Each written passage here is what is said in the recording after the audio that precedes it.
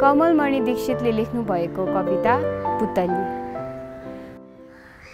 फुर फुर फुर फुर गर्दै उड्ने कहिले त यता अनि फेरि उता डुल्ने पुतली फुलमा कसरी उसको प्रिय त्यो ऋतुराज महा फुलको रसले मदमत्त भई अति नेत्र भई पनि अन्ध बनी।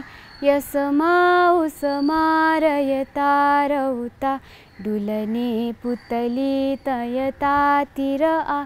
पहिले रसली पछि त्यो फुलमा बस्दैन बसी अरू नै फुलमा डुलने पुतली रुमली त कता उड्छस् भवको फुलबारी महा उड्छस् भवको फुलबारी महा